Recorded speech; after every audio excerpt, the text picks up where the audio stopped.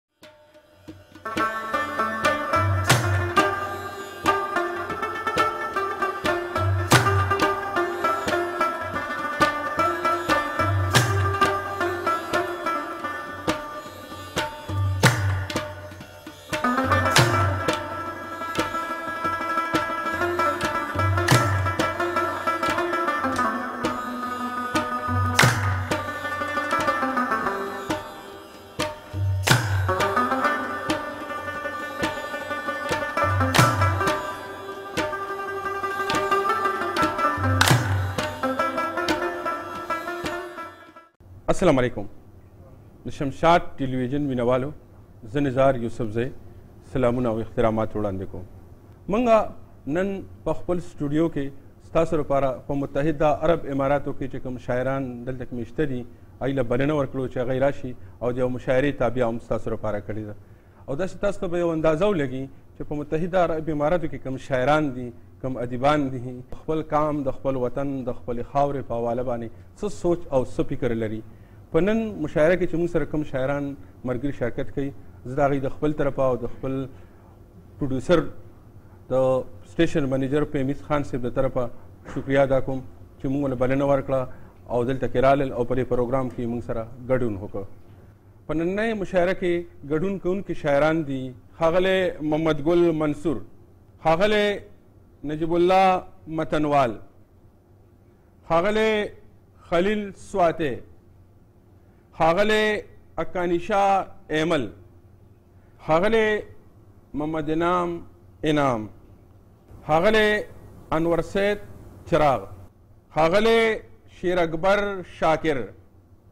او ښاغلی امان الله امان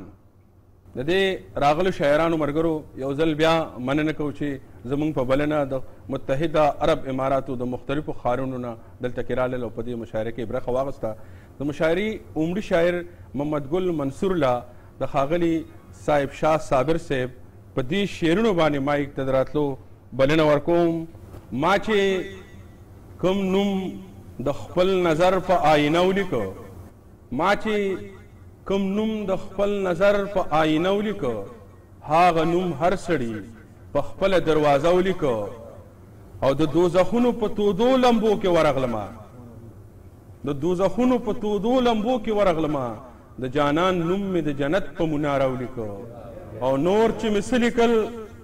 کاغذو په کاغذ مې لیکل نور چې مې څه لیکل کاغذو په کاغذ مې لیکل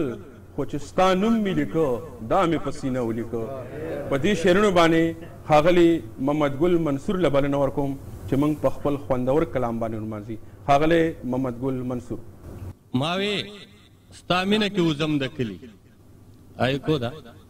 ما وې ستا مینه کې وزم د کلی هغه ویل چې شابه زرو تخته دا قرضدار دي نور وجنی ګوره مننه او دته د لاس نخرو مالو غوښتو ده ترې د لاس نښه رومال وغوښتو، هغې جواب کې ورته وویل چې یو خو ستا پوزه هر ساعت بهیږي. او بیا یې چې ما وې چې زه دې یادوم ډېره ما وې چې زه دې یادوم ډېره هغې ویل که ته مې هېره کړې نو په ما به څه تندر راوغورځېږي او یو شکر پهچان د ایکو چې وشو شکر پهچان د ایکو چې وشو شاعري دومره یې اسانه کړله چې مې لالا هم شاعري شروع کړه مننه او ای دومره مې خوښه په بل وخت کې نه وي دومره مې خوښه په بل وخت کې نه وي خو بس لالا ته د خیرو په وخت کې زما څه بل شانتیا به یې خوښه شي مننه او ډېر زلمي ورسره هم ورپکې شمار شو ډیر زلمی ورسره هم ور په کشمار شو او دا منم د جنکو شه را سیوا شوه او داسې ښکاري پوډریان وده وکړه او د سپلو د پټېدو شه را سیوا شوه او د غریب سړي د وس خبره نه ده د غریب سړي د وس خبره نه ده او د بیلنس د یارانو شه را سیوا شوه او دا اعزاز خوش حاصل زما وطن ته دا اعزاز خوش حاصل زما وطن ته په وطن کې مې د غلو شر سیوا شوه او ته که خپه یې نه زه څه وکړم نو زه څه وکړم زما خو ځان له شونډ په ځمکه لګي او ته که خپه یې نه زه څه وکړم زما خو ځان له شونډ په ځمکه لګي